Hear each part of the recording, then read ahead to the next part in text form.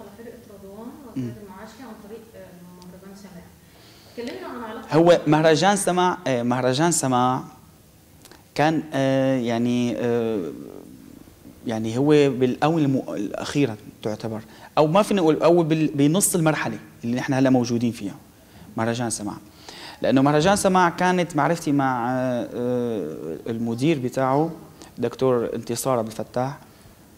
تعرفت عليه عن طريق أحد الموسيقيين هون في بحب أوجه له كمان تحية الدكتور أنور المنسي. فكانت معرفتي عن طريق الدكتور أنور المنسي والدكتور أمير عبد المجيد كمان. فسبحان الله أنا كانت يعني معرفتي بديت معه في قبة الغوري اللي في شارع الأزهر نص البلد تقريبا.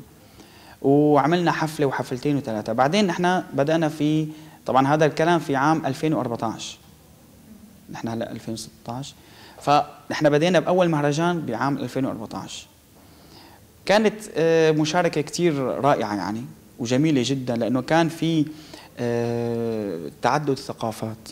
يعني نحن بالنسبة لنا أنا أهوى إنه أنا أكون آه، يعني إني أنشد وهذا الألوان اللي إحنا عم ننشدها إنه أنشدها وآخذ حتى برضه الثقافات اللي اللي الفرق الثانية والدول الثانية. وفعلا في كثير أشياء أنا أخذتهم يعني أخذت يعني استفدت منها إنه المزيج اللي صار آه، مزيج رائع يعني عبر عن عن وحدة اللغة آه، اللي هي لغة العالم بسموها لغة الموسيقى.